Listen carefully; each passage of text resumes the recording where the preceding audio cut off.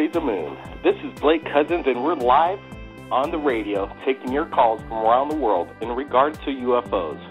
We have a special guest tonight, Robert Bingham, the man who summons UFOs. We're also waiting for Preston Dennett, the man that's trying to get disclosure from the White House, and we're trying to get 25,000 signatures, along with Dr. John Ellis, a promoter for Third Phase of Moon, and we're going to talk about what's coming up next in the future for us. So let's get right to it and take the first call. Hey, Robert, thanks for joining us. How you doing, Robert? Yes, um, doing fine. Um, and I'm glad you have your show. And that I can well, we're it. here with the man that summons UFOs. Robert contacted Third Phase of Moon approximately, you know, early in 2012. He was introduced to us by a fella that was his neighbor who claimed that he knew of a person that could summon UFOs, and we got in contact with Robert Bingham himself. And uh, it's been a journey, hasn't it, Robert? Oh, it's been a journey. These last 10 months have been, uh, I was uh, amazed at all the things that we've done in 10 months. Uh, it's been, a, it's still an incredible journey. It's and it's getting more incredible all the time. Actually, today when I was working, uh, two ships uh, came to see me, and they were very high though. But they're always around me, and uh, I just get, you know, every time I see them, I get uh, energized, uh, so to speak. Well, you Uh, have this knowing that- ability, you know, that you claim that you could summon them at will, and we proved and put you to the test, actually, to see if you really could do this. And, you know, early on at Third Phase, we announced that you were going to start summoning UFOs for the public, and you're going to go public with your story. And you started to do these, uh, you know, displays of your power at Park Plaza Hotel in Los Angeles. And, you know, people showed up, hundreds at a time at times. And, uh, you know, a lot of them left uh, came there skeptics and left there becoming true believers in UFOs, right? That's the truth. Uh, a lot of people went over there to debunk me, and uh, became one of my biggest followers. um, actually, how it should I tell you how it started, Blake? Um, what happened is I just started to tell people to come over to the park because I, I work by the park, uh, and uh, and I would uh, show them what I what I did, and, they, and I didn't know they were going to bring 50 people. And uh, after that, Mark got in touch with you, and uh, then then I realized, well, I'm going to put Ali on the map as one of the UFO hotspots because uh, you know it is the city of angels, and uh, and that's what I believe they are, that they're angels. Uh, and so that's how it all started, and it's. Uh, uh, but uh, actually, I've been doing it for like about 13 years. Well, about 10 years, 10 to 13 years. I just. Uh, Well, you know, been- Robert, uh, we've we've sent our own cameraman on the scene when you were doing these summonings, and uh, we actually captured UFOs in the skies with many eyewitnesses capturing the same thing with their video cameras.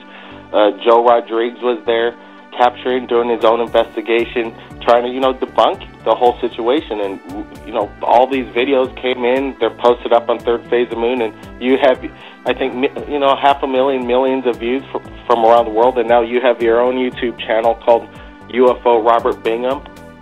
Right. And uh, um, when, when it uh, gets a little warmer out here, I'm going to do a lot more events.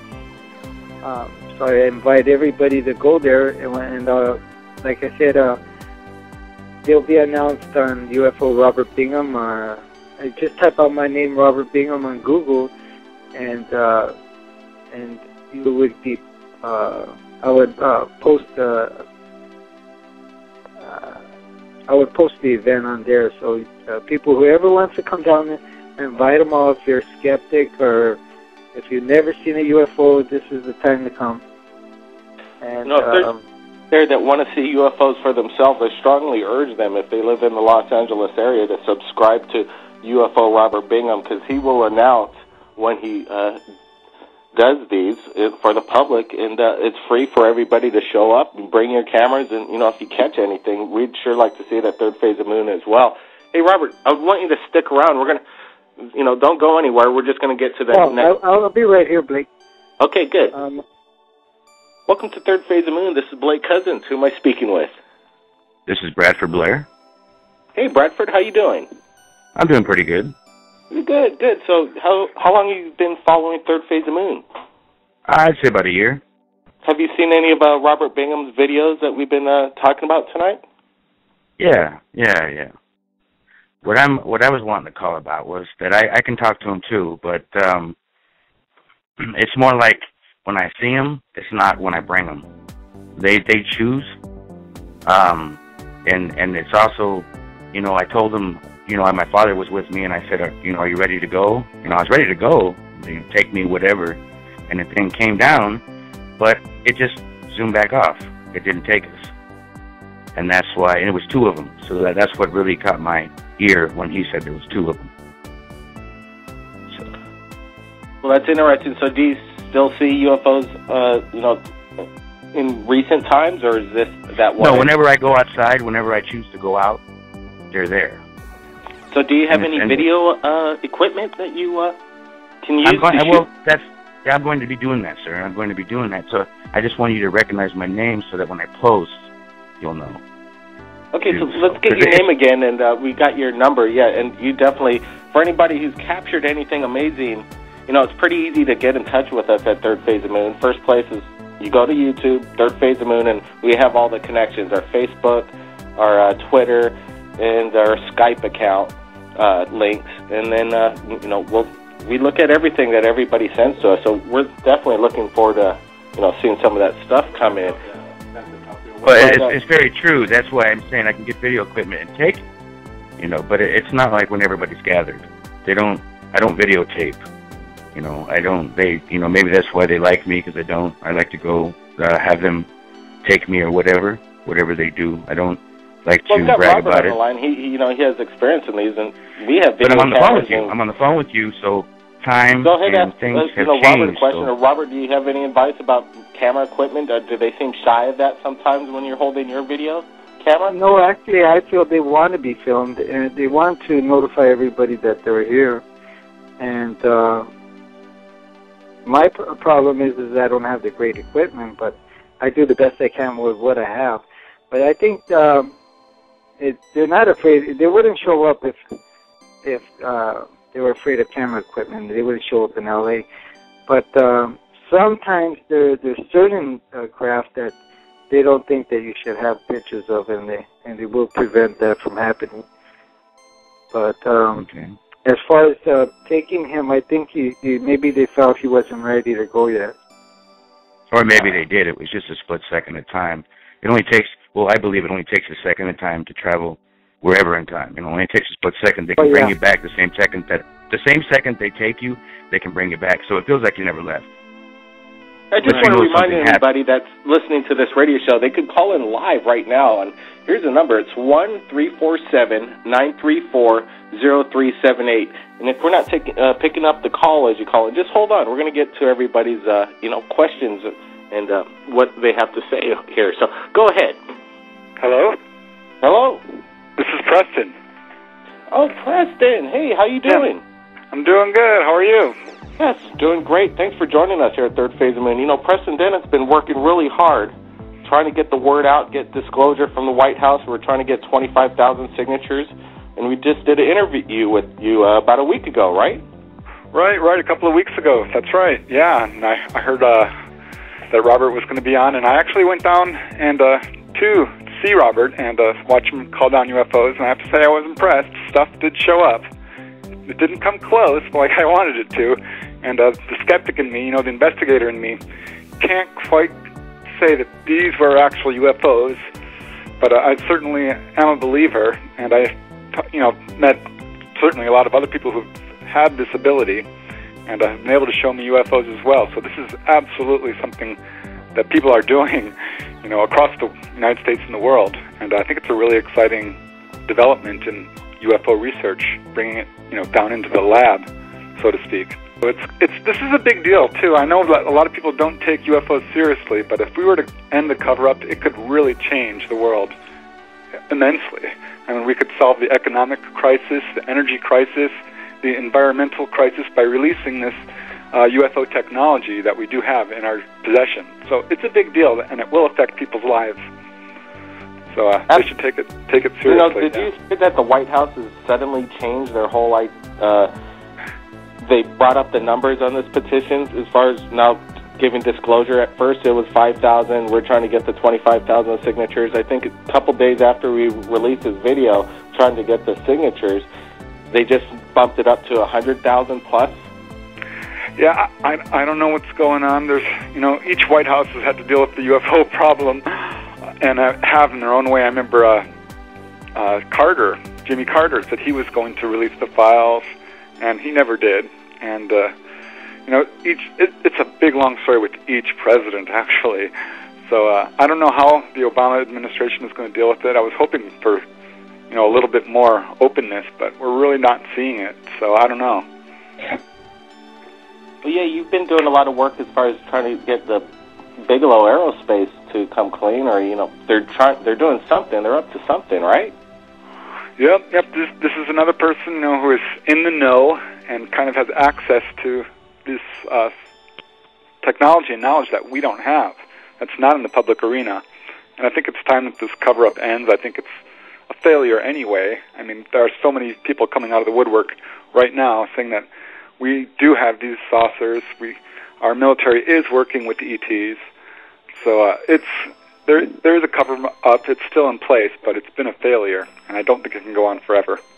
Hey, Preston, you you wrote many books uh, about ufology, and you've done a lot of investigation. Can you tell me why the main media really doesn't pick up on Robert Bingham's story and try and you know try and confirm it for themselves? At least show up to the park and see what's up, because you know this guy's doing this. He's had a what kind of evidence do they need to prove? Wouldn't it be a story that the main media would jump on? You would think so, but there is an active cover up in the media of UFO information. Uh, there was a book by a, God, I forget his first name, Hansen is his last name. It's called The Missing Times. And he pretty much demonstrated right up and down the board that there is a media cover up of really good UFO information. And despite that, you know, UFO stories do make it into the media. There, there was a sighting over O'Hare Airport um, the Stephenville, Texas sightings, the Phoenix Lights, of course. Once a year, about I'd say, a huge UFO story does break, and you know the evidence. I don't. I can't tell you why they're ignoring um, stories like this, like Roberts. Um, they shouldn't, and I think that there's a lot of public interest in this, absolutely.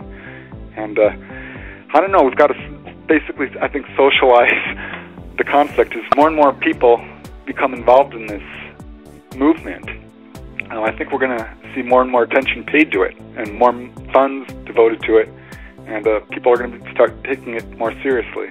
UFOs are becoming mainstream, but very slow. And you know, speaking of that, this is I think why the UFOs don't come swooping down. They're really, really close.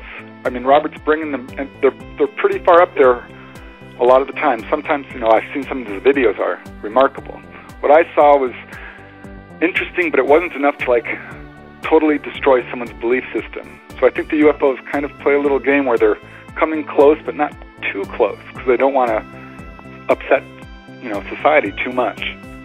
You know, people might uh, become disturbed, shocked, and uh, people aren't still ready, possibly, for you know UFOs making their uh, public performance. Hey, we're. Gonna take a call from 201 real quick. Who am I speaking with?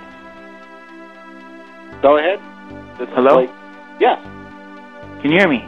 I can hear you loud and clear. Is this one Hi, one one one John. one one? How you doing? Doing good. Um, I want to talk about the petitions again. You know, right now is the time for people to help because they did raise the threshold. Initially, it started with 5,000 signatures, and Stephen Bassett was good at getting 12,000, so they had to respond. Some low-level staffer responded, and you know, it ended up being some BS statement. Then they raised the threshold to 25,000, and just like you said, a few days after you announced your video, when they th- saw a little bit of a threat, they raised it to 100,000. Now is the time that we need to get every believer, every person involved, to actually go on petitions.whitehouse.gov, find the petition, and just sign it. It takes 25 seconds of your time, and it could make it change history. History is in the making as we speak. You're right. You know, we we got that threshold two days before they changed it. So if we don't do it now, it's going to be almost impossible to do it in the future, right? Absolutely, absolutely. Because if it's difficult to get 25,000, imagine how much harder it's going to be to reach a 100,000. They're almost and that's making where it stands now. they're making it impossible for the American public to get any disclosure. They're just wanting to keep everything a secret from us and hiding everything from uh, you know, the public. What You know, as Preston was saying earlier with regards to, you know, our our president, I too was very hopeful that he would finally do something. And now that he's in his, you know, second term, which is his lame duck term, really, you know, is he going to do anything at this point? We don't know. And he's not really the one in control according to a lot of people. So what what's to say it's going to happen? You know, I, I'm losing my faith. If he didn't do it already in his first term, he hasn't given us any assurances of disclosure now, so I don't see anything happening.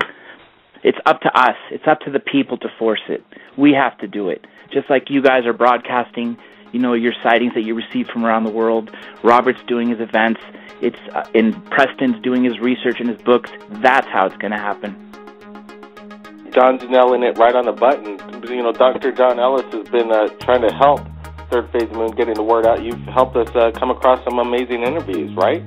Yes, and there's going to be more to come. You know, we're going to reach the reach all peaks of the corners of the globe.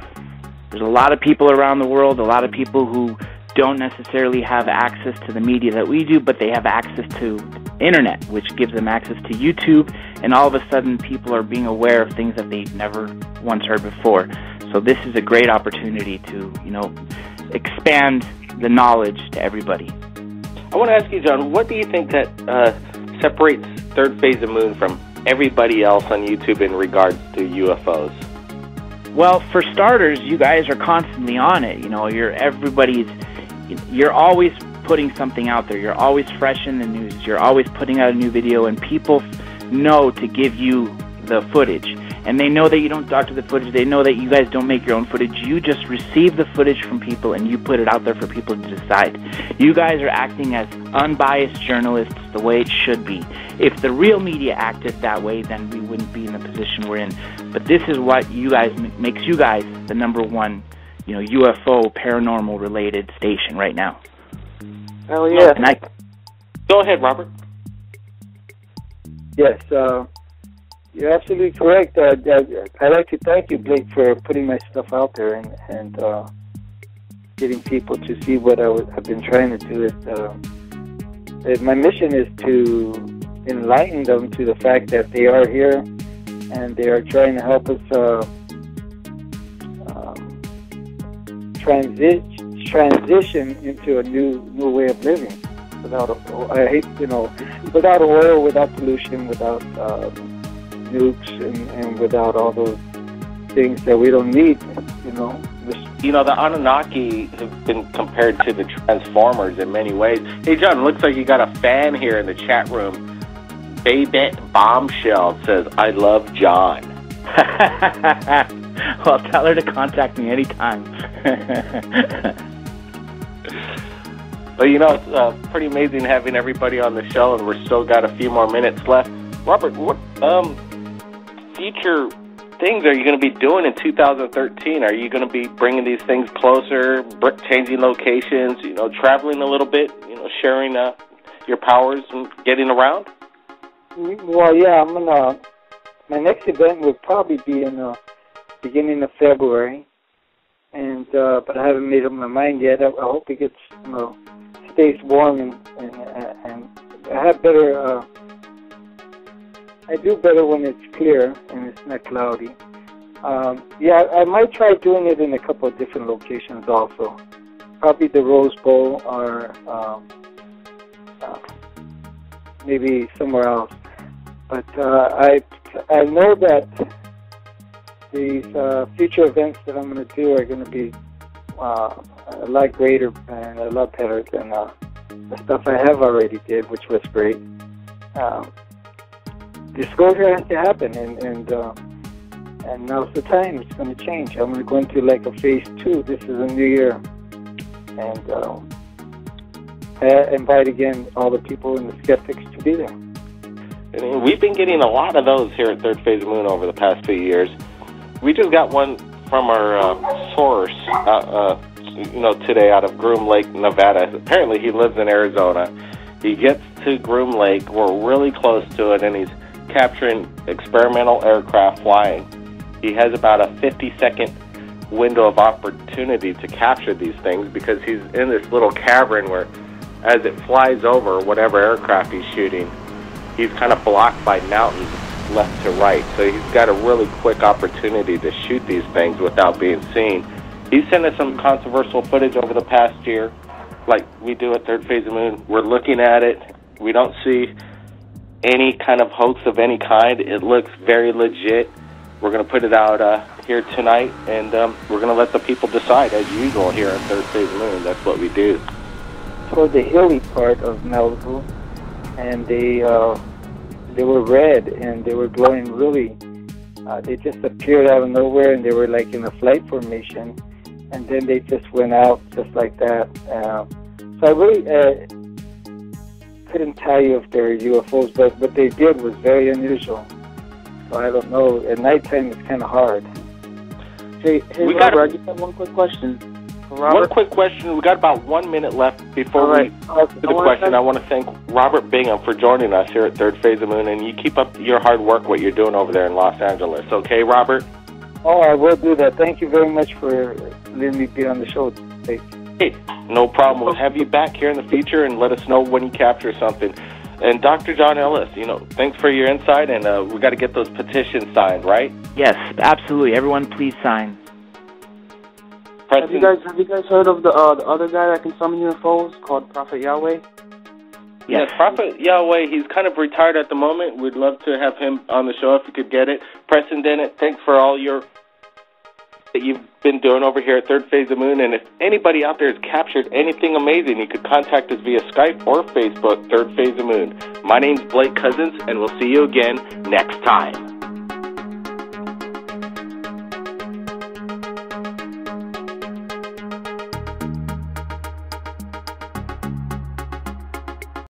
Blog Talk Radio. Third phase Third phase. Third.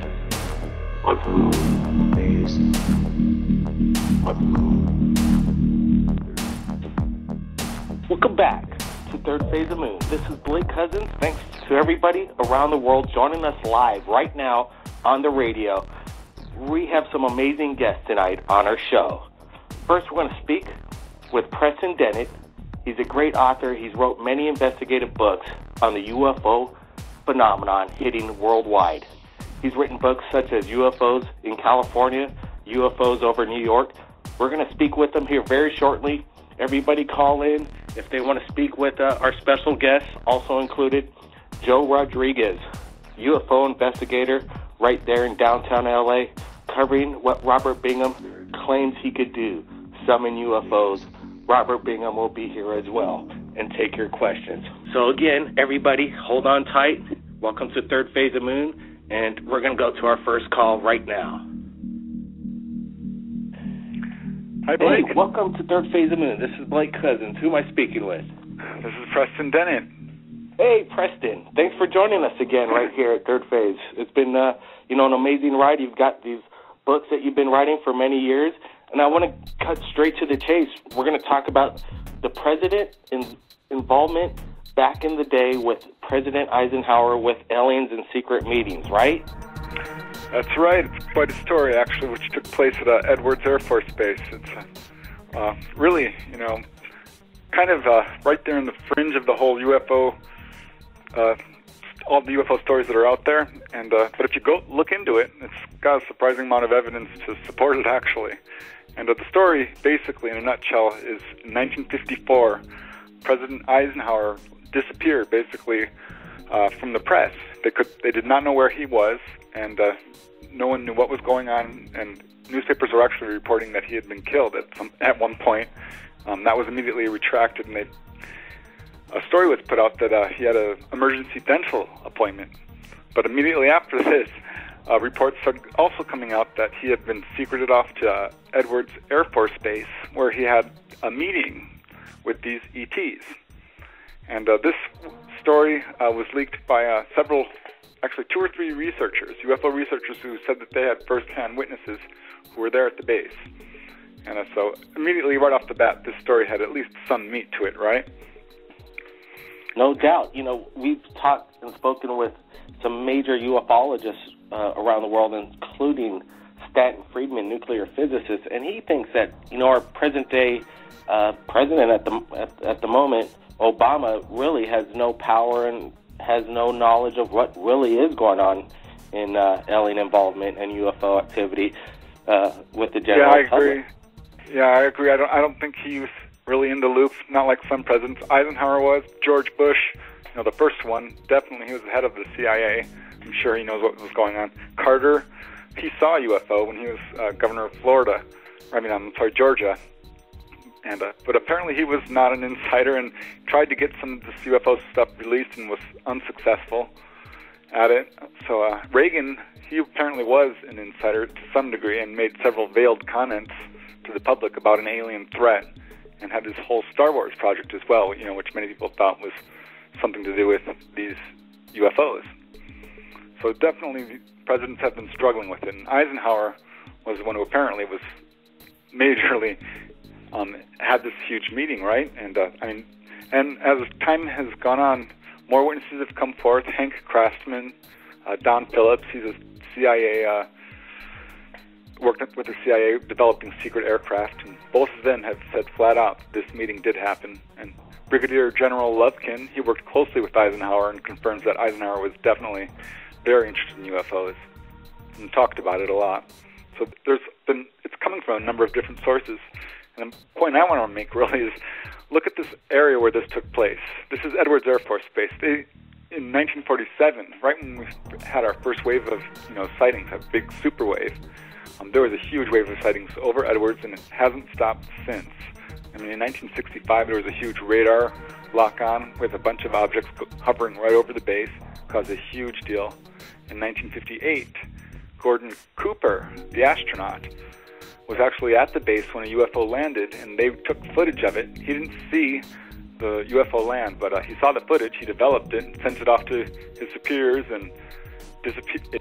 He never saw the footage again. And repeated inquiries have not produced this footage. So we know the government does have, you know, knowledge of this stuff, and particularly at Edwards. What's going on at Edwards is crazy incredible. We're talking with Preston Dennett, UFO investigator and author of many books in regards to the phenomenon of UFOs. And if anybody has any questions for Preston and some of the other guests coming up, I know I see some calls coming in. We're going to be getting to those here shortly. You could call into 1347 934 0378.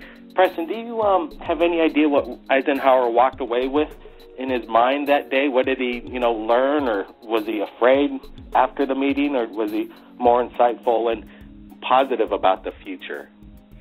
Um, I think he was uh, not encouraged by it actually, because what apparently happened, according to you know the stories that are coming out, is uh, there was a meeting that ETs were very concerned about our uh, use of nuclear weapons and uh, wanted us to give it up, and they wanted to impart spiritual knowledge and things like this, and we wanted their technology. So it wasn't like a super amicable meeting, and uh, apparently Eisenhower was afraid that this, there was going to be a huge religious backlash and a huge, you know, upset to our societies. So he decided not to release this information. And apparently, this is, you know, all part of the cover-up that's been going on since, you know, 1947 at least. Well, I don't know about you, but we have 45,000 subscribers. Myself, you know, I'm ready for disclosure. I think everybody out there is ready for disclosure. We're not going to panic and raid the street. you know, like, wow, aliens do exist in our mass universe. You know, just give it up already. We're trying to get this petition signed with 25,000 required to get some answers from the White House. We're trying to get that uh, going. Uh, what do you think about that, Preston? I think it's a great idea. There's been a movement towards that for a long time. You know, when I got involved in this field like 20 more years ago, um, there was talk about disclosure back then. And it seems like it's always been on the horizon. But as time goes on, you can see that there's a kind of a crumbling to this cover up. There's been a lot of people coming out now with a, you know, Steven Greer and uh, some other people doing these projects, bringing out government officials, have gone on record saying that they've worked with UFOs and uh, UFO technology. So it's kind of an open conspiracy at this point, and I think absolutely you're right. I don't think people would panic at all. I think we're kind of already inundated to, with this kind of stuff. Well, we're going to go to our next uh, guest. You stay here, right, right here, Preston. This is uh, Ivy West from actually a close neighbor of mine in the state of Hawaii. She lives in Honolulu, and she's a big promoter of UFO events, bringing the top people in from around the world. Hey, thanks for joining us right here at Third Phase of Moon, Ivy. Hi. Can you hey, hear how me? you doing? Okay, I'm. I didn't know I was going to be on the radio. Well, you're on live on Third Phase of Moon. Hey, can you tell our viewers, you know, they watch live and, you know, we get a lot of views on our radio show, what you're up to and, uh, you know, what kind of help are you uh, working on to get this word out? We're trying to get disclosure. Well, disclosure is through the people always. The governments of the planet are not going to disclose what they're doing. Uh, a good friend of mine, uh, Jordan Maxwell, uh, said that the old magi used to work their magic upon the masses with a wand. Do you know what that wand was made out of? It was made out of Hollywood. Hollywood is always telling you what it's going to do, what it's been doing, uh, or what it's currently doing. You've got uh, you've got uh, Darth Vader talking through the triangle of Freemasonry and these secret uh, orders and fraternal brotherhoods are running the planet. You know, and it's not just male uh, dominated; it's female as well. They're they're all involved on keeping on keeping this quiet. There are literally thousands and thousands of reports of UFOs daily around the world. There is so much conclusive evidence that it's ridiculous. And they keep saying that, oh, they don't exist and that we would have proof.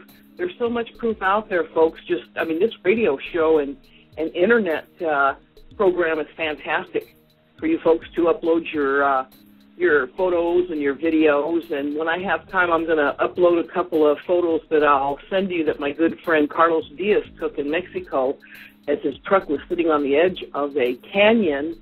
This big plasma uh, UFO came right up and hovered above him. You can even see the reflection in the um, in the uh, hood of the truck. And we went down there, and uh, you can see them. I mean, they're they're there. They're everywhere.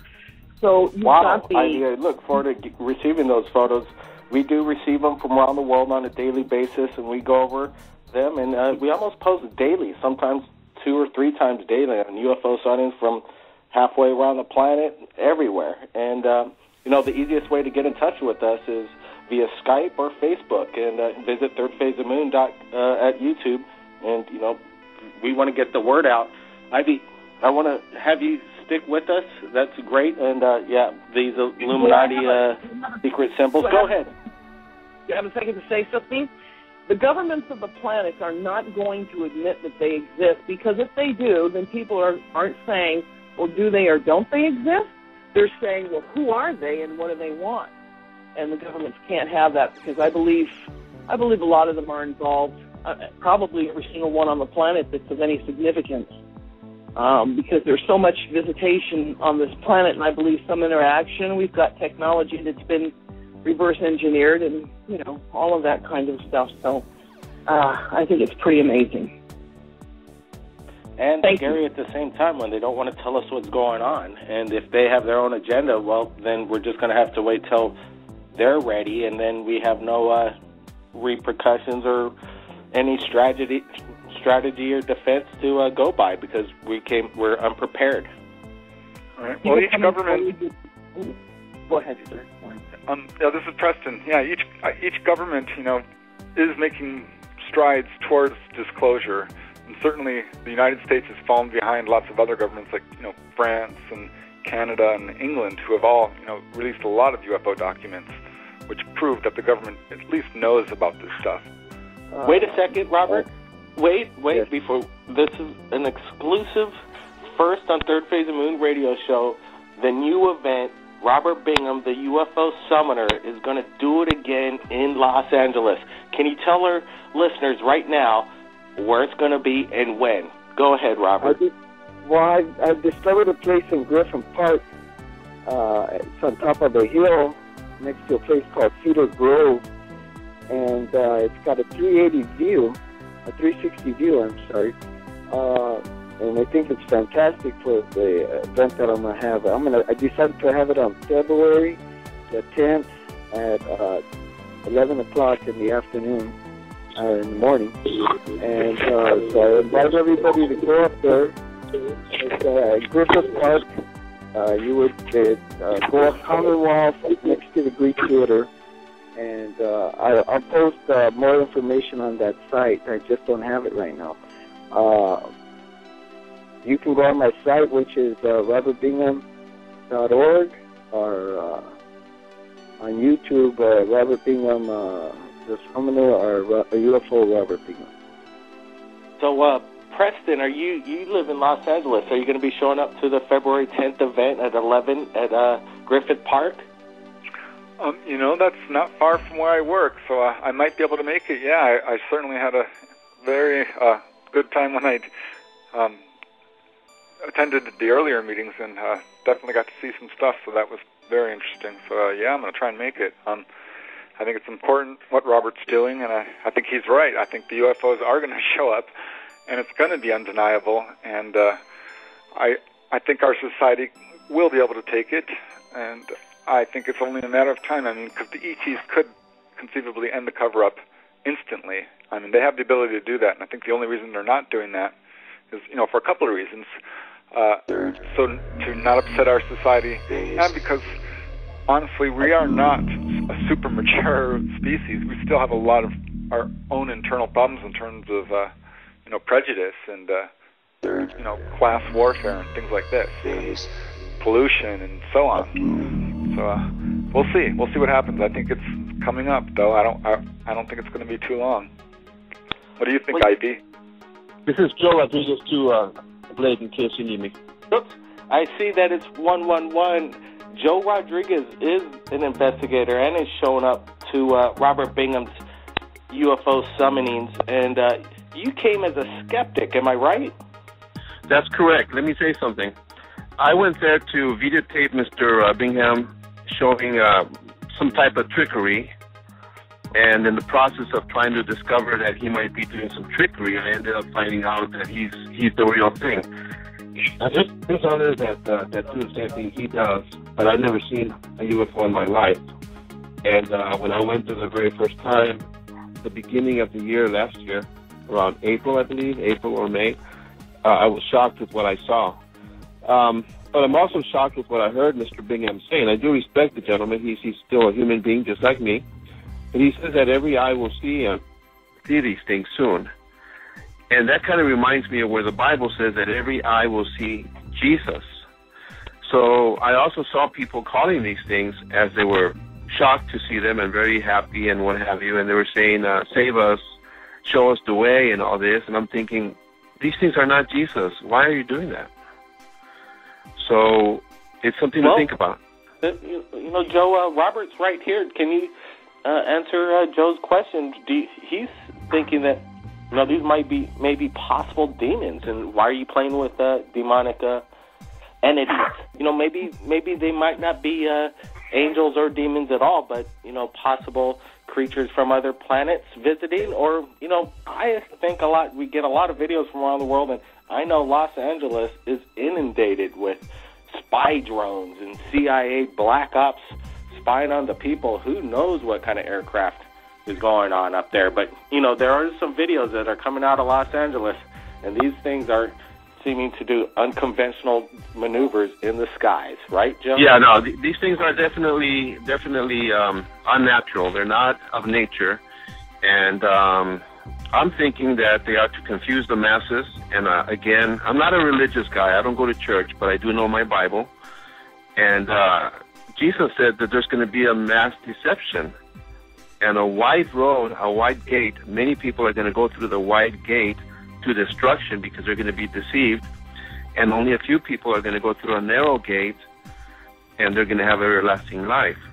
So I'm thinking worldwide, in India, Japan, everywhere, people are being are going to be deceived more and more with these things, and and um, you know I, I respect Mr. Bingham, like I said, but uh, that's just my only concern that people might be um, um, fooled with these things. And the, uh, the reason I say this as well is because Robert, I believe you said one time that they're going to come and, and help us, right? They're going to make things better for us. Is that what you said, sir? Well, well, what I said is that uh, right now we are running the uh, on oil, which we don't really need to do, and destroying the planet only in the name of profit.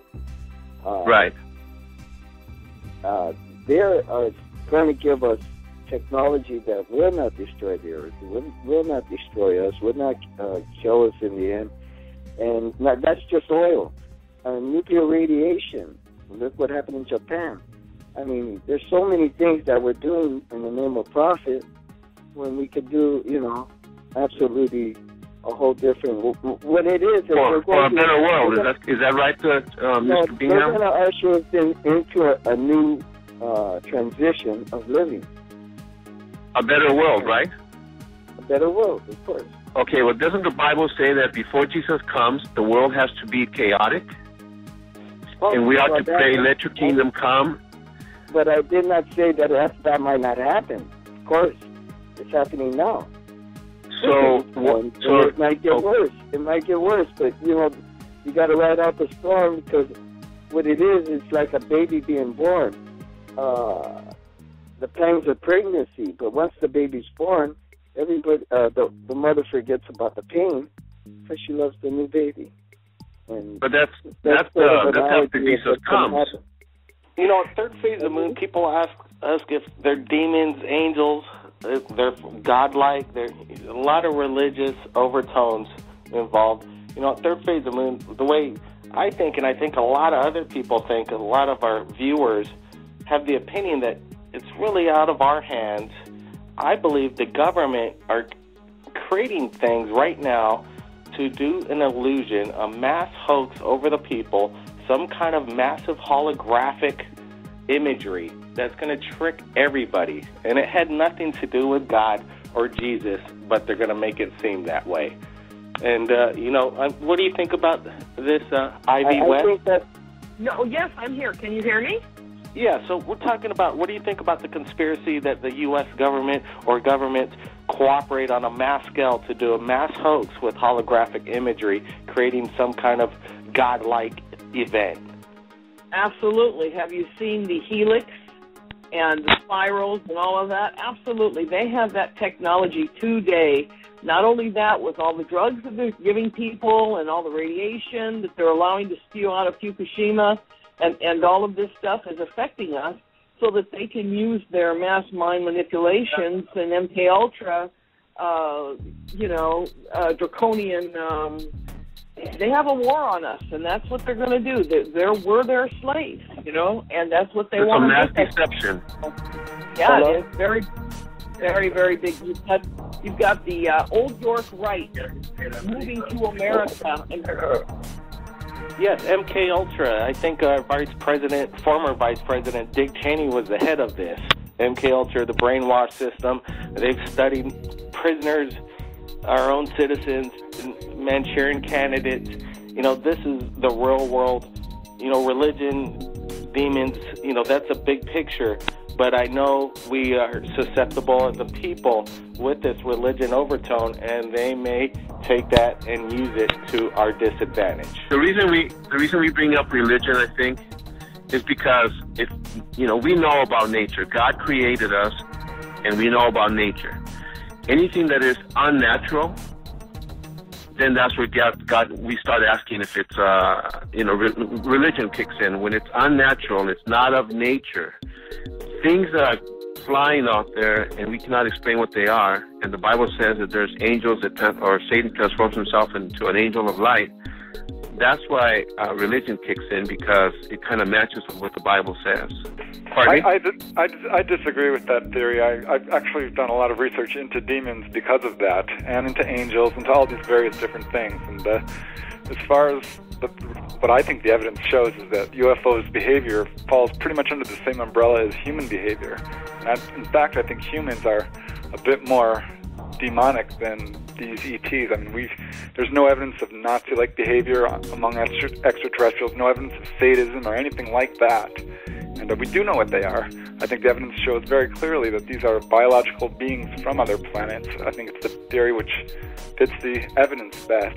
What shows that? What what do you ta- what do you have that can that can say that it's from another planet? What if the, what if it's demons trying to fool us? Um, well, you know, I think that at some point you have to take things at face value. It's right. demons. I think uh, uh, there is such a phenomenon as that, and that's much more closely associated with hauntings. And I've talked to people who've you know, dealt with possession and things like this. So I certainly am not, you know, just talking out of the blue here. I, I'm pretty, you know, I've got some research done onto this. And when I, people I get just don't see the connection there. Okay, let me ask you: when when people get possessed, what are the demons trying to do to that person? Isn't it to confuse people, confuse the masses, and scare people? Is, isn't, isn't that the tactic? Um, to a certain extent, I think it's to subvert a person's will, and the evidence shows that ETs are actually trying to help us. I mean, the very most common thing that happens to people when they're taken on board is that they're given messages about nuclear proliferation, uh, pollution, th- these kinds of dangers. They're taught also about how to do uh, psychic healing and taught about themselves in very spiritual ways. People come away from their encounters very, very spiritual, and uh, often will abandon religion as a result. So, uh, I like. Well, I that's like the whole your point. That I think that's the whole point to abandon God, to abandon religion. Well, no, wait, wait, I wait, think wait. that's their whole faith God purpose. grows even stronger. So I, I just don't think the evidence shows the connection between the point I want to make is between demons and UFOs. I really just don't think that that explanation is correct. Exactly. I like to say, this is Robert speaking. I like to say that uh, uh, the government is, uh, the governments around the world and the powers that be are doing a lot of things to uh, to make us think uh, that they're bad and that when there's a lot of you know demonic things or whatever. But the terrestrials themselves are utilizing these methods that they're using and reversing it and be making it a tool for them to enlighten the public as, as to what's going on. So no matter what the government or the powers that be use, the terrestrials have the ability to reverse it and make it a tool for themselves. So I'd like to let people know that. Uh, I, I respect what you say, Robert, what- but it contradicts what- No matter what they're working on, it's not going to work. All right, we're in our second half hour of the radio broadcast. Is everybody here still with us, Preston Dennett? I'm here. All right, Ivy West. I'm here. Great. Robert Bingham. Yeah. Good. All right. And Joe Rodriguez. I'm here. Great. And we're going to invite one more guest calling in from uh, 201. This is Third Phase of Moon. Welcome. Who am I speaking with? How you doing, Blake? It's Mark. Hey, Mark. How you doing? You have any questions for our guest tonight? Yeah, this question goes out to any of the guests. Um, first of all, I would just like to say, like, whether they're angels or demons, we know they're one of them. And, you know, no disrespect to what Robert Bingham's saying, you know, about uh, them giving us new technology to, you know, advance our culture or whatever. But in the end, what will that um, technology cost us? You know, that's just a question to ponder. And, and on, on another thing, um, what do you guys think about our government's using like the Mars program to like slowly reveal the truth about the universe to us? Well, I'd like to answer your question about uh, them giving us technology. Uh, they will give us technology once they uh, govern the world. Uh, the only reason they don't, as of yet, is because a lot of the technologies that we get out of these UFOs, we make them into military weapons in order to have the edge on and power over all the, everybody else. Uh, Yeah, that- and that's- what that's these- about- that's what all these countries are working on. So they won't give it unless they can have total control of it. And, and uh, naturally, you know, uh, would you give a kid a gun? You know, it's only when we're ready for it. So that's one of the questions on the, the technology. Uh, the, So as far as the Mars question I couldn't tell program and um, the slow trickle down information that comes in, I know it's far away, but wow, can't they just give us some decent video in real time of the landscape, not digitally enhance it to look and come out red? Why are they trying to hide atmosphere evidence and you know life on Mars? What what is their purpose? If they are they ever gonna share any evidence? Is NASA a cover up? Is MUFON a cover cover up? What do you think, Preston? NASA stands for Never a Straight Answer, and that was not my moniker. That was given to them by the press years ago. And uh, honestly, I think that yes, they are involved in a huge cover-up, um, specifically with uh, UFOs and the whole space program. And uh, it appears that you know pretty much all the all the uh, sh- uh, flights to the moon were followed by UFOs. We found stuff on the moon that was definitely uh, alien, and uh, a lot of photographs of this have already come out. You can see them on the internet very easily. And yes, I think uh, uh, Mark's absolutely right. There is a cover up with uh, what's going on with Mars as well. And uh, I know for a fact that I've talked to some people who have had seen footage and then later saw it released and it was blurred out. You know, like very clear photographs of UFOs were that he thought were very, very clear, and then were later released and they were completely blurred and you couldn't make out what this thing was. So, uh, and there's other accounts coming out of NASA where people's job it is to erase UFOs out of pictures, um, specifically on the moon and um, space pictures of uh, in space. So, uh, yeah, there's definitely a, a cover-up uh, as far as NASA. I agree with that. Ivy, do you think that you know the Illuminati, you know MK Ultra, to make the mind warp to the way they want us to think? They don't want us to be free thinkers. You know, come up with great ideas. You know, they they got the ideas. What do you think about subliminal messaging, NASA, and uh, you know what they're up to? Well, we're being bombarded on a daily basis of being told what to do. People think that their thoughts are their own, but they're not. You know, and I can prove it to you. What's the opposite of tall? Just a quick answer. Short. Yeah, everybody says short, but if you have if you have two objects that are of equal mass and going in opposite directions, the opposite of of short or tall isn't short. The opposite of tall is deep, and the opposite of short is shallow. So they have us they have us driving on on uh, parkways and uh, parking in driveways. They they have this word art. They have these mind control, and they've done it through the media. They've done it through drugs. They've done it through through uh, the education system. They've done it through every level of consciousness on this planet. Look, you can't have a bunch of Christ-like conscious people running around.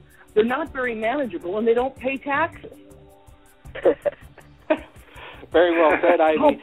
So, you know, I'm sorry, but you can't have a bunch of ed- educated people running around because they're going to start asking why and who and what, and you know, all of a sudden, you know, you've got uh, whistleblowers everywhere, which we need to be. We need to be vigilant at all times, you know, about our liberty. Our liberty isn't just taken for granted. You have natural rights. You have unalienable rights that are creator given. And these governments and these uh, agencies cannot lean them. They are unalienable. You know, you know, Ivy, you're exactly right. But we have to ask ourselves, and honestly, ask yourself down in what you really feel. If you know, a lot of these people that have the ultimate power were born into it because it's old money. It's gone back centuries, if not thousands of years. So if you're born into it and they know no other way but to have this power, they're not going to give it up because if we were born into it, it'd be hard not to go against something that's that good. For power your- corrupts. Mhm. Absolute power corrupts absolutely, and they rule by power. That whole thing is more, more, more, more. They can't get enough. Yeah, they bankrupted the entire world, pretty much. Yeah, You but know this what I- planet is full of criminals. I'm sorry, but it, that's what it's morphed into. The whole planet is run by a criminal element, an alien criminal element, and a demonic criminal element. All of it. I'd like to know. There you go. There you go, Ivy. Now, Ivy, now you're talking my language. Go ahead, UFO I'd like to investigator know. was Joe Rodriguez. Yeah, well, Ivy said demonic, and that's what I'm trying to say. It's all demonic. It's all to confuse people. It's to um, confuse the masses worldwide, not just in the United States, but all over the world, to look up and, and, and don't waste their time reading the Bible. Don't waste their time waiting for Jesus, because these things they can see them. They're flying all over the place, and to me, I think it's a it's a great deception. It, Well, uh, I'm, Joe, not saying all, I'm not saying all UFOs are demonic, okay? I'm saying there is a demonic element. There's a trans um, dimensional element. There's uh, there are all of these different things, and even in the Bible, he said he had other sheep. So you know, I'm not saying that you just by the mathematics alone, we know there's other life out there. Then it can't all be demonic, demonic, but I'm sure that Well, let me tell are you, that are. It, it says he says that there's angels out there. Three quarters of angels, uh, one fourth of the angels, or one third were taken away with Satan. uh, So yeah, Joe, but there, but those are the heavens, Joe. There's good angels and bad angels up there. You have to discern that. no, I'd like I know. I, also- I, Joe, Joe, Joe Well- you forgot to, you forgot to tell the radio audience that you are a magician and that you do okay, I am a magician, but you see, And a just lot because of people consider that a lot of people consider that demonic. So well, yeah, because they don't know. But of them see, consider it entertainment. No, but let me tell you something. Right, it is entertainment. I mean, if I if I make a, a pencil disappear, I mean, and if someone thinks that's demonic, then they got a screw loose. But Uh, I'm, I'm some pretty mean tricks, but uh, I mean not mean used to tricks, go- but some really fantastic tricks. Uh, people would consider uh, that a natural person couldn't do that. How would yeah, but do- you said uh, the main word. explain that? It, they're tricks. They're tricks. Okay, so they're just tricks. It's no big deal. But you see, what you're saying earlier, you said that every eye will see them, and the Bible says every eye will see Him, Jesus.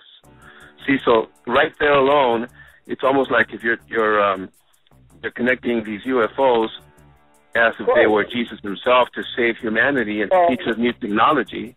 That's not how Uh, the Bible. think- Oh, you know, Well, Joe. God made us in His image, and and we are technological beings.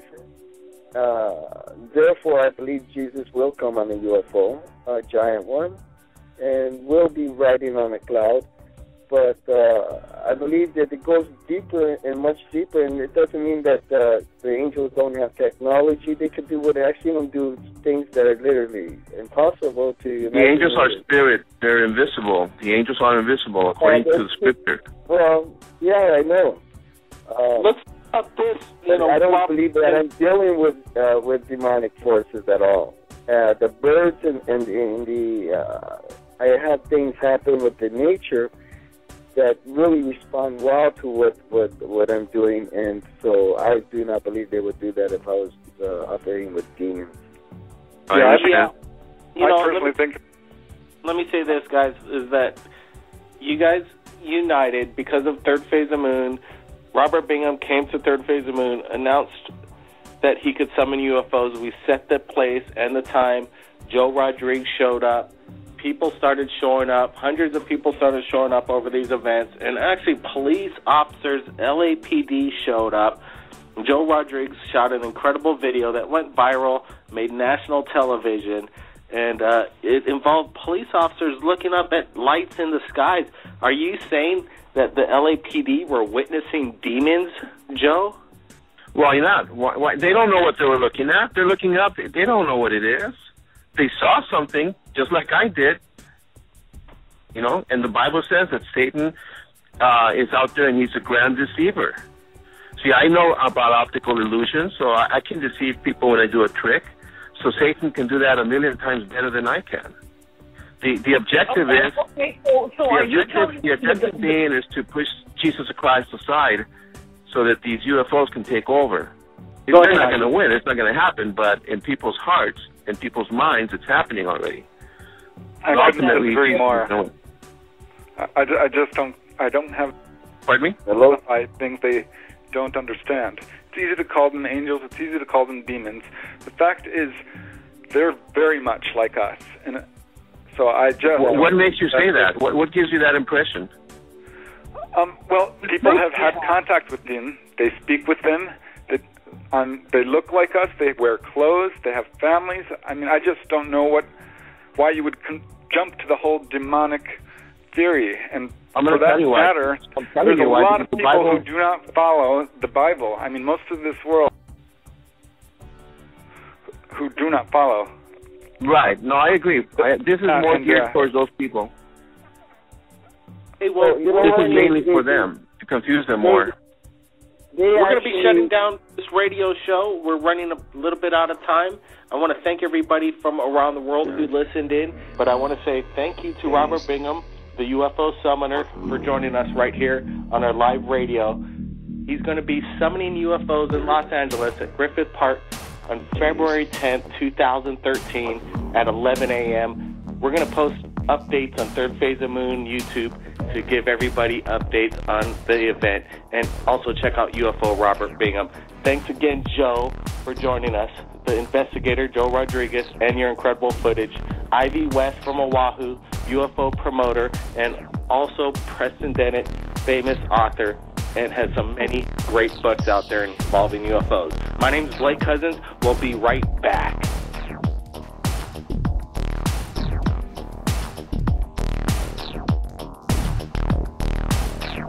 Third, third. Phase, phase. Welcome back. My name is Blake Cousins, and tonight we have some special guests. We'll be speaking with John. Hello. How are you. Blake? Hey, I'm doing good, John. So, I want to know what's going on with every, all the listeners out there. We got this petition, everybody. We need your help.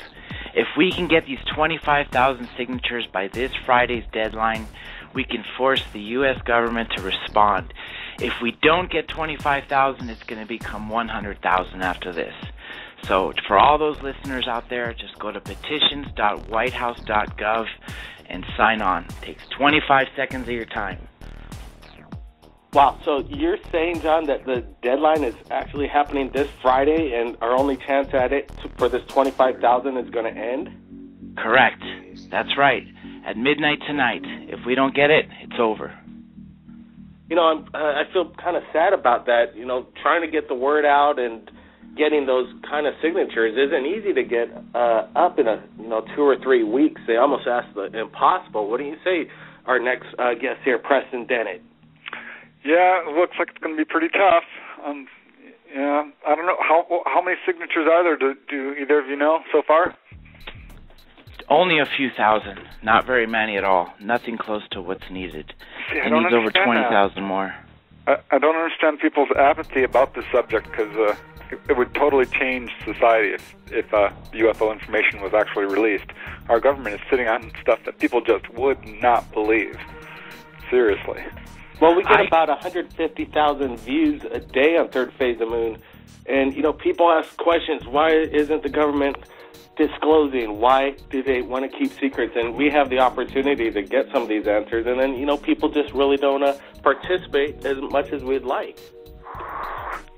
I Yeah. know, and that's the sad thing.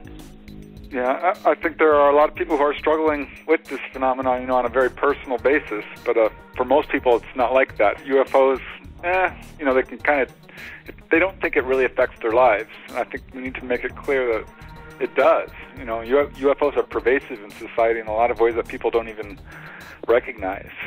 And, uh, and the whole fact that UFO technology is being suppressed is a perfect example.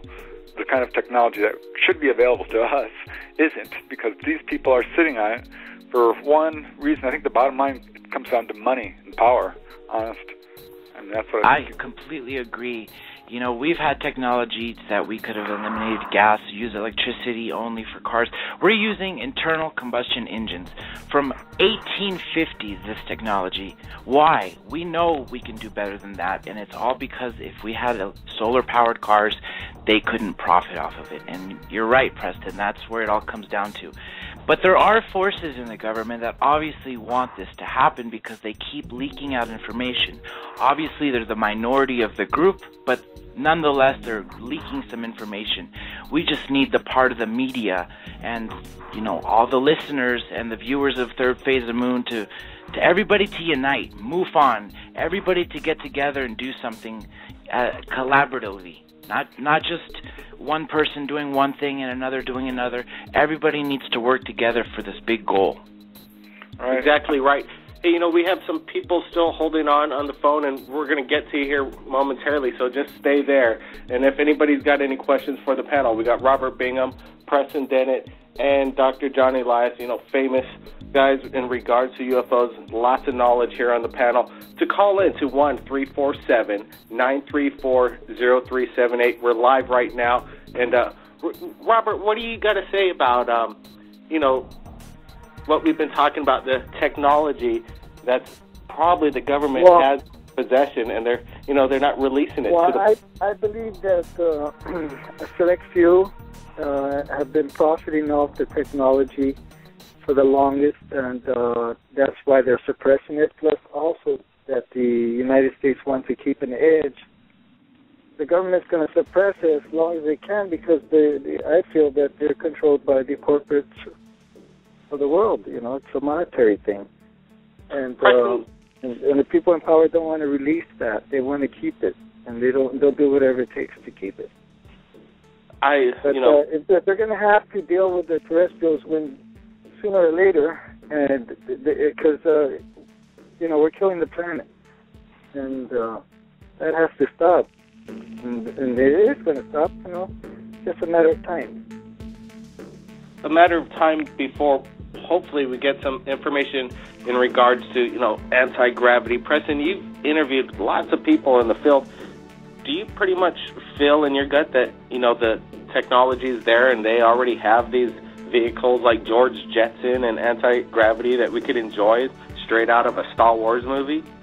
Oh yeah, I'm I'm pretty I'm I'm beyond convinced. I've talked to way too many people. One lady I talked to, who I know quite well, I've interviewed her several times. She worked out of China Lake, um, and she had access to some technology that she was told was taken directly from a UFO, and they took it out into the field and tested it. It was this laser beam type of thing, which was able to levitate objects, and if you changed the setting, it could, you know, fry them or vaporize them. It was a electromagnetic beam that had several different settings that could do various things. And uh, they went out and tested it, and some of these soldiers they were going to, you know, try and uh, kill some of the mules, just blow up the mules. And this lady who I interviewed was really, really upset about that, and it caused a huge to-do. She she wouldn't let them do it, and uh, she ended up getting kicked out actually. I like to I like to interject that I personally saw uh, Jetson type vehicles, uh, and, and I saw them downtown LA, and uh, they do already have them. The, the terrestrials have them. Uh, I believe that the the government uh, still, you know, working after 50 years, they're still trying to uh, figure out a lot of things, and uh, but they're right. doing a good job at doing it. And, yeah, I think there's a lot of stuff they still don't understand that they've gotten from this stuff, and and they are leaking it into society bit by bit. You know, the integrated circuit, fiber optics, night vision goggles. These are things that have been pointed to towards having come from UFOs. I wasn't sure if it was it was myself that you were talking to, Blake. Good evening. This is D. Michael in Denver. Yes, Jim. Well, welcome. Go ahead. Do you have it's any questions? Such it's such an honor to speak with you. Um, I, I really appreciate uh, what you're doing um, allowing the people to to see these videos. Um, personally, um, I've, I've, been deeply involved um, for well over 25 years, and um, I can say from personal experience that my, my sixth sense um, is is growing and evolving, and it's it's largely in part due to people like you, Blake, that are, are publishing these videos. you know, the people get the opportunity to develop that sixth sense and uh, can learn how to differentiate between what is clearly uh, an identifiable object and something that is um, either not of this world or, or in some other way um, uh, supernatural. So I, I, just want to applaud you and I, and I want to thank you um, you know, you, you really are a, a, a very welcome addition to the community. Hey, uh, Michael, I appreciate uh, you know the words. We try over here at Third Phase Moon to get the word out. We just received a video that's been on YouTube for a couple days now, but we try and get video that's relevant, something spectacular, something that nobody's ever seen before, and uh, you know, get people like you seeing these things to make up their mind of what they're looking at. Possibly a lot of these things are military, CIA drones, suppressed technology that we don't know exactly what's going on. But and you know, having the, the awareness, having people get their cameras ready in case they're going to see something, and videos are constantly coming in. Michael, have you ever, uh, you know, captured or seen any UFOs in recent times since, you know, watching Third Phase of the Moon? Well, personally, um, my first um, eyewitness experience was some 20 years ago. Um, uh, I, I personally witnessed um, an object that looked like a, a 50 gallon barrel, except much larger and bright orange. Um, uh, looked like painted metal uh, floating in the sky um, uh, south of the Denver area around Castle Rock. And, and I can tell you from personal experience that um, this calling upon of UFOs um, and this telepathic reality that prayer represents um, is a very, uh, very provable subject matter. Um, I have been able to and have witnessed the presence of what what might be referred to um, as angelic um, entities. Um, I, I've, I've got a lot of information about this subject um, that, that I could spew for hours and hours. I don't want to want to waste your, your listeners' time or, or your or your guests. They seem very knowledgeable, and I, I will be very pleased to listen. Um, I'm just so honored to be able to make contact with you, Blake. Um, I think that you know we, we, we need this movement. Um, I'm sorry to hear that we're we're so short on the signatures on the petition. I don't think there's much we can do in the short amount of time. Um, but you know, um, the node bends the shock, and in times where uh, we feel discouraged, um, all we need to do is raise our heads to the heavens, um, witness the poem of God's creation, and realize that all vicissitudes will come to pass. Um, all of these things will be uh, uh, available to us as time goes by. Um, but I would strongly urge uh, at least at least the listeners um, who are people of faith um, to you know closely examine the historical reality um, and uh, you know what we know. Uh, throughout history, there have been examples of men that can literally command the elements. Moses, for example, was was described as parting the Red Sea with the use of a serpent staff. Types of events, whether whether considered um, religious metaphor or otherwise, should be carefully and very closely examined before really going uh, deeply into the subject matter because um, there are so many potentialities that uh, it can be very, very difficult and overwhelming. It takes a very, very long time for that sixth sense.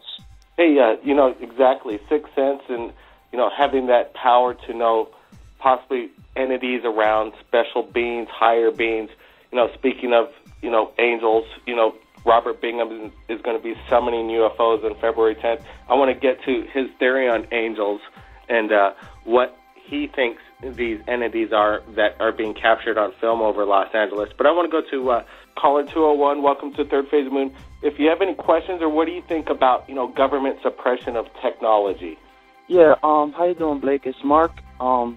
I'm a I've been with the show for since the beginning, and I, I would like to say, as an amateur uh, investigative mythologist and UFO, amateur UFO, ufologist, that there is a lot of suppressed uh, technology, such as uh, what Edward um, said in 1998, where the, the UFO tech actually had some kind of like quasi crystals, sort of like what you see in Stargate, where they, you know, they powered the ancient spaceships and stuff like that, I guess.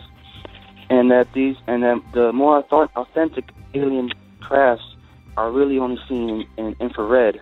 You know, the ones that we see with our visual uh, in visual spectrum are actually uh, either could be holograms, and they are like uh, a couple of you guys just said that they are re- reverse engineered craft, back dating back all the way back when the Nazis uh, had the that special super pro, super weapon.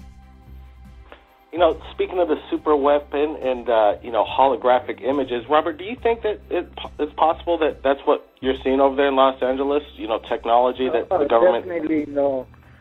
Um, just to give you an example, today I had bought a camera yesterday, and I went out to take the trash out, and I said uh, telepathically, I said, uh, "Show me so I can use my camera." And as soon as I sat there and looked up, they were there. So uh, I don't think the government has that capability. But like I've been saying, uh, these are angels, and uh, a lot of people would try to say that they're demons or whatever. Um, I don't associate uh, them with uh, demons. I have a, a discernment that they are good angels, and and they're angels. Uh, to me, that's what I've been saying during all my events. And uh, but it takes a while before, like, uh, before you can get that ability. It just don't happen overnight. Uh, but uh, I've been doing this for almost 13 years, and I only went public what 10, 10 months ago, Blake, when we first did that Skype. So about ten months ago, Robert, uh, you know, wanted to know how he was going to go public. He was kind of concerned. He wanted to go through the right avenue of going public, and you know, I, you know, honestly, I said, Robert, I think Third Phase of Moon is a place to go if you want to get the word out. And um, you know, after that, you know, Robert's been seen around the world. Millions of people have watched the videos. Hundreds of people have shown up on location, and uh, it's absolutely incredible. You know, and Preston Dennett's been working for many years in the subject matter of UFOs. What are you going to be working on next? Oh, I'm currently interviewing a lot of people who've had very close encounters and putting together a book about that. So uh, I think that's uh, going to be really exciting. I interviewed a gentleman recently who was a fireman, and uh, he's just recently had a really interesting encounter in his home in the suburbs, in which these uh, ETs kind of just dropped through the ceiling, and uh, actually he woke up floating over his bed, and uh, was wondering what the hell was going on. You know, could not figure it out until this light filled the room. and These ETs dropped through the uh, ceiling. So uh, he he was very frightened by the whole experience, actually, and uh, later had another visitation, which wasn't nearly as frightening, which he asked them, "Why do you keep taking me?" And uh, they did not answer. But it's uh, it's an interesting case, and uh, one of many that I'm hoping to include in this book that I'm putting together. Yeah. Well, that we look forward to the uh, books in the future. You know, John, John, uh, Dr. John Elias, what do you think of, uh, you know, getting together with Preston Dennett and you know getting a third phase of Moon book with all the you know sightings we have, the testimony from eyewitnesses from around the world, the Skype interviews we've done. You know, that's definitely a, a good possibility for a future project because Preston is a wealth of information. He has been uh, investigating for more than two decades. He actually has 15 books, and like he said, he's working on this one and another one of UFOs over Nevada, I believe. Was that correct, Preston? That's right. That should be coming And- out soon. Yeah, so that's 17. There we go. It'll be 17 in a matter of time. And I actually wanted to use this time to to make a segue to what Preston and I were talking about uh, prior to the show. Now, what I heard recently is a very interesting saying or quote. We're spending all this money on making this international space station, and you know we keep sending up these parts and people and all this stuff.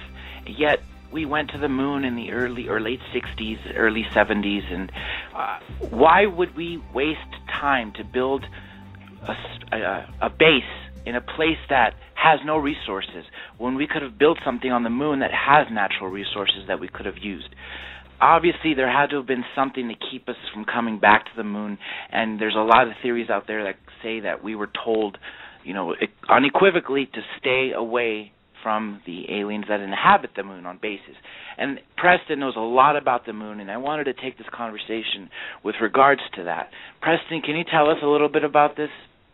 Bases oh, sure. yeah. You know, all that. Yeah, I looked into it because uh, I ran into this gentleman who told me an incredible story that he was involved with the uh, astronauts, and uh, he was a photographer on one of the ships that you know picked them up, and was able to you know have face-to-face conversations with the astronauts, and they told him that they had seen stuff on the moon that you would not believe, alien bases, crashed UFOs, all kinds of artifacts that was just amazing. And uh, he actually developed a lot of these photos and saw them for himself. So I'm like, oh, you know, this is an amazing story. I hadn't really heard much about the moon, so I did my research, and lo and behold, it was amazing. You know, there have been UFO sightings on the moon since early history. Prominent astronomers like Herschel and Schroeder, um, these are famous guys, you know, back in the 1700s and 1800s, saw lights and all kinds of stuff on the moon. And it goes on and on. The British Royal Astronomical Society asked people to call in their sightings, and they got thousands of reports of lights and strange patterns. It goes on and on, all the way up to the modern age when we go to the moon, right? And apparently, we're followed to and from the moon by UFOs. And this was reported by Chris Kraft and other NASA insiders. And there's a lot of people who have gone on record saying that UFOs have been seen around these Apollo and Gemini craft, right? So, uh, yeah, it goes on from there. The photos that are now coming out have, have you know, you can, by a, uh, of the shard is one example. These artifacts that are on the moon are, there is definitely something going on on the moon, and I think that basically we were warned off, is what it comes down to. And, uh, you know, we've had a special guest, Jose Escamilla, on Third Phase of the Moon, and he claims that they're, you know, with color telescopes, you know, getting super close with powerful lenses and telescopes. I've been interested in the moon for a long time, but um, it wasn't until Jose uh, exposed me to uh, his moon rising video when I bought the DVD a number of years ago, and I I've been real interested since then. And in September, I, I went out and bought a Celestron uh, Nexstar 8SE telescope, and I was bent on doing high definition video. And uh, I found a camera, a Chinese camera that worked. Matter of fact, it was the only camera that did high definition. And through a lot of experimentation, I've been able to figure out how to marry the right lens combination uh, with with the camera to get some just outstanding, uh, breathtaking video of the moon. Maybe, maybe there is a, a theory that Jose says is that when you're looking from the moon to Earth, the Earth would appear gray because through space there's a filter, and basically the same way that we're from Earth looking up in the moon, it's gray, but in actuality there's color. Right. I, I think that there might be, in fact, uh, an atmosphere on the moon. You know, the moon rocks are filled with oxygen, and there's an, a lot of water they're finding uh, out now on the moon. It's officially being released, at least. So uh, yeah, and, you know, Fred Steckling wrote a book. We found alien bases on the moon. Um, George Leonard wrote a book. Somebody else is on the moon. Um, and there's a lot of evidence to support that there's something very intense going on there. And just to you cut know, that I off. Um, ask uh, Michael about. Have you ever heard of the theory of possible, uh, you know, atmosphere, life, you know, ancient bases there on the moon, Michael? No, this is this is Mark.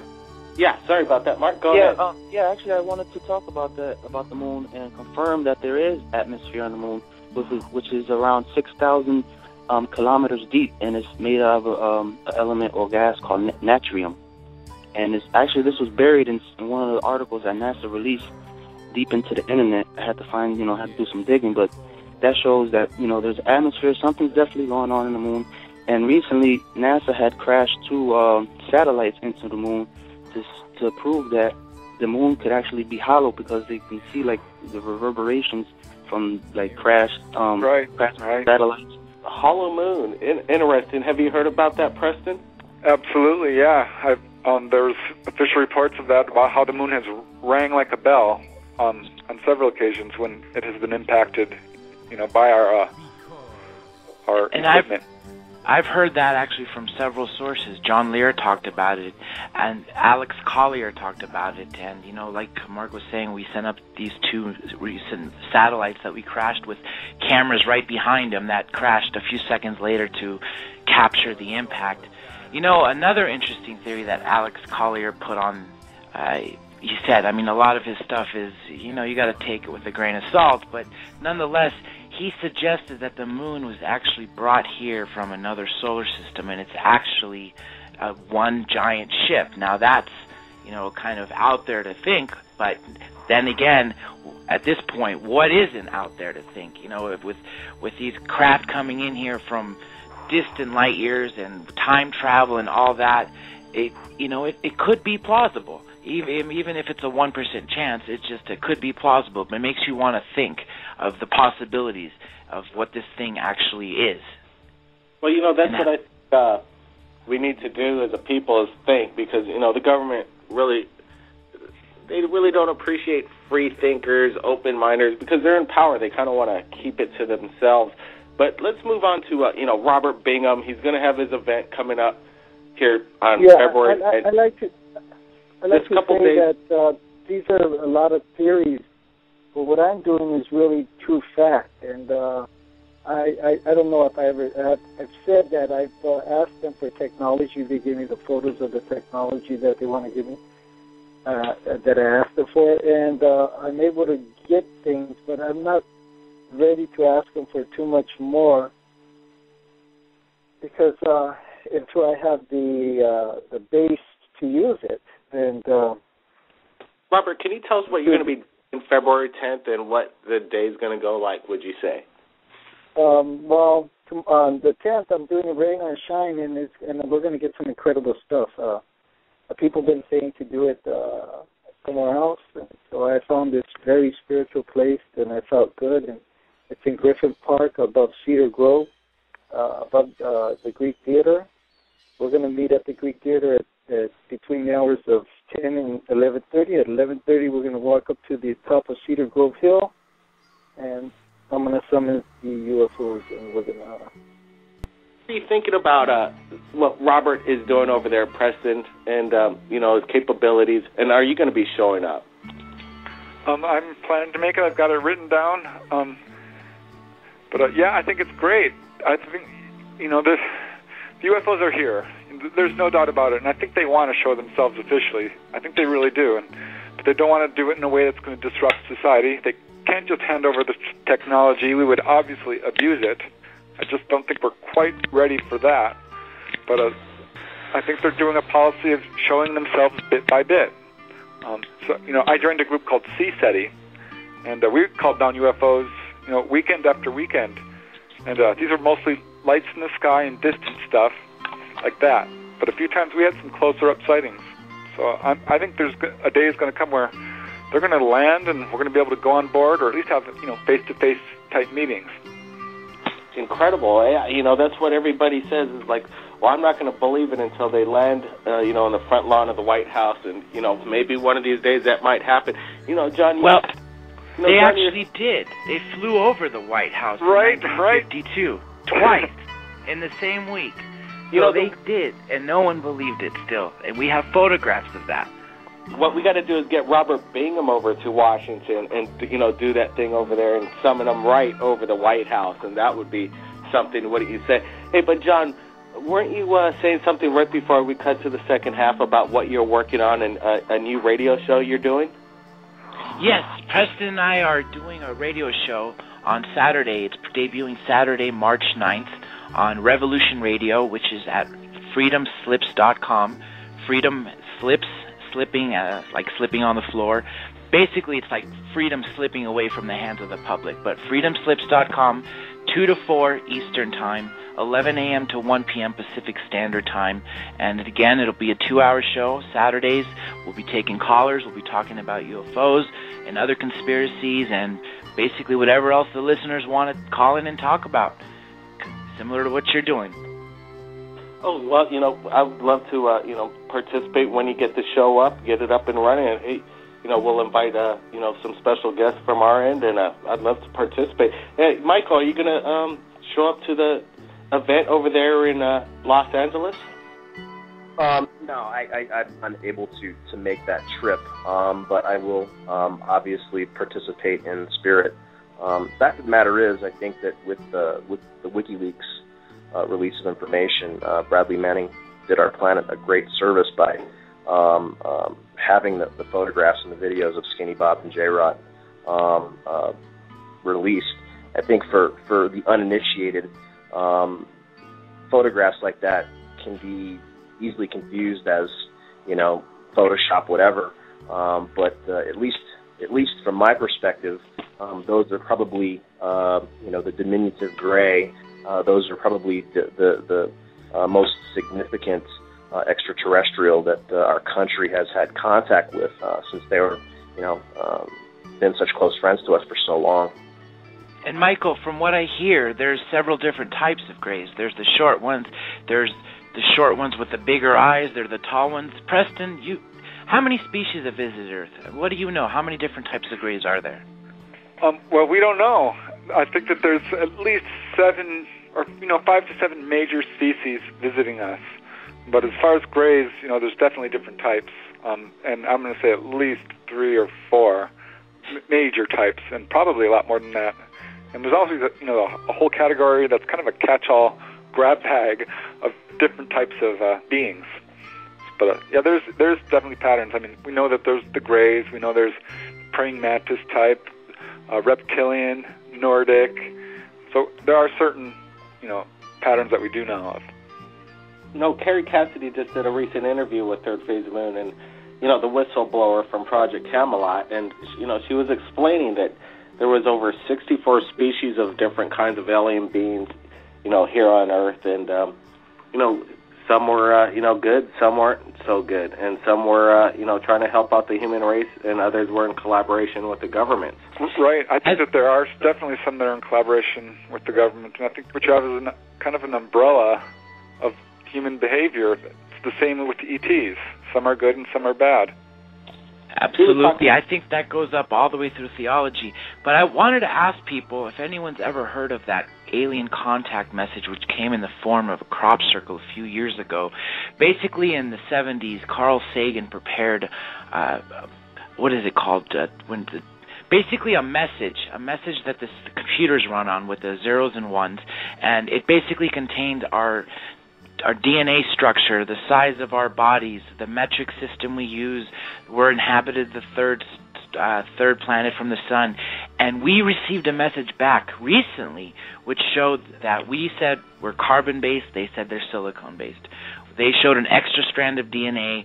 They showed that they had bigger heads and smaller bodies, and they showed that they inhabit three planets in the star system of Zeta Reticuli. And I think that could be one reason why there are a few different types of grays because they, you know they're just evolving like Earth Earthlings and Mars Martians. You know, just a planet, a hop, skipping, you know, right away, right there. And I think that's one of the theories. And I, obviously, there's the other theory that these some of these are bio robots, uh, glorified robots, if you will. But uh, I thought that was an interesting thing, that alien contact. I don't know if you've heard of it. It's a very, very interesting uh, case that it came back in the form of a crop circle, but not a circle. It was more of a rectangle, and it was identical to what Carl Sagan sent out. It, identical in the form of the way it was transported and received, but different where it showed the differences in the civilizations. The, the whole crop circle thing really baffles me because doesn't seem to have a super strong UFO connection. There's definitely a, a, a loose one in some cases, but most of them seem to be completely separate from UFOs. I don't know who's doing them. you know, uh, the Colin Andrews says that the ones that are from the the ones that are faked, when the branches of the wheatgrass are taken down, they're actually cracked. Supposedly, the real ones they're taken down literally 90 degree angles, but they're not cracked. They're still growing, and I think that's what differentiates you know the the nat- the real ones from the fake ones. However, what the real ones are coming from is you know a guess as good as any at this point. But yeah, that well, alien contact thing, I thought that was pretty interesting. Under a microscope, if you look at these wheat stalks, you can actually see that they're little nodules. You know, the places where the stem grows burst as if there's some sort of microwave heat energy. So you can pr- prove scientifically which ones are fake and which ones are real. I think the vast majority are real. And it's sad that no one's taken, no one's really taken that to the mainstream media because, right, what you just said right there, that science can prove the real ones from the fake ones, yet they're not doing anything about it. Well, you know, you look at them so closely, and like you say, on a, a molecular scale, that they are, uh, you know, semi there's some kind of fusion going on, some kind of you know radiation, some kind of chemical reaction, some something that so like you're saying they they're not bending, but when you look at them, they're interwoven, and to do these massive crop circles overnight, you know, on a grand scale is basically virtually impossible. Oh, unless, and they're so, they're so beautiful too. They're amazing. Well, they're definitely really pretty to look at, no doubt about it. Thank you, Preston, for uh, joining us. Oh, thank you, Blake. I always enjoy being on your show. Um, yeah, I think people should uh, keep their eyes in the skies. There's definitely stuff up there. The UFOs are not going away. I think the activity is only going to escalate, and uh, sooner or later we are going to have official uh, contact, open official contact, and the government is going to come clean on this. I don't think they have any choice because, uh, like I said, these UFOs are not going away. So hopefully we'll be ready. Hey, thanks a lot, Preston. Uh, you know, it's always a pleasure having you on the show with all the information you have over your years of experience. It's also great. And, uh, you know, Robert Bingham, the man who summons UFOs, I really want to thank you for joining us as well in his February 10th, uh, you know, event. Robert, any last words here? Yeah, well, I wanted to say that the they have a federation of planets. I've seen the flag. They have seven stars. Uh, they do have a federation, and uh, I like to say that the crop circles. Uh, I do know what they are, and and they're not. Uh, it's not done by plasma. It's done by uh, technology, and it's done so perfectly and well that they're, they're they're literally putting it out there for you. Look right at it that they do exist, and uh, I just you know the, the this bit about uh, energy causing it. No, it's it's much more than that. Uh, and what they're doing is putting blueprints out there for us to move into the the next transition. Uh, to in order to save the planet because the planet don't belong to us. But anyway, I'd like everybody to be there February 10th. I invite everybody and uh, if the uh, skeptics or debunkers to be there, and uh, and all the people that want to see it to be there, and uh, I'll be there and I'll greet you. And uh, if you got questions for me, I'll talk to you and explain it to you. Thank you very much, Blake, for putting me on the show.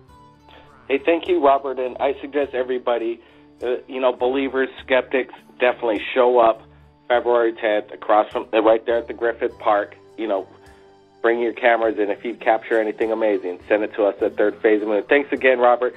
Uh, you know, and Dr. John Elias, I want to, you know, thank you for joining us, and you're coming up with your radio show. And I want to thank uh, Michael for joining us right here at the Third Phase of Moon show.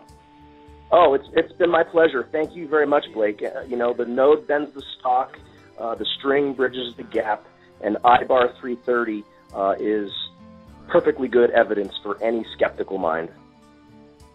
Hey, appreciate it, Michael, and uh, you know you keep in touch and have your camera ready, okay? Dr. Johnny Elias, any last words right here at Third Phase of Moon? Yeah, keep up the great work at Third Phase of Moon. I can't wait to see some more great footage, and we'll do some more great interviews. Appreciate it, John. You know you've uh, worked really hard here over on Third Phase of Moon, getting the word out, doing a lot of legwork, and uh, you know we really appreciate it. Anytime, Blake. Anytime and you know get your cameras rolling. Just today we received some amazing video out of Scotland that we put out just a couple hours ago on third phase, and it is absolutely incredible. This art aircraft. Okay, so we're gonna just go to break here just for a few seconds. Everybody stand by. We're going to our second half. Okay, hold on.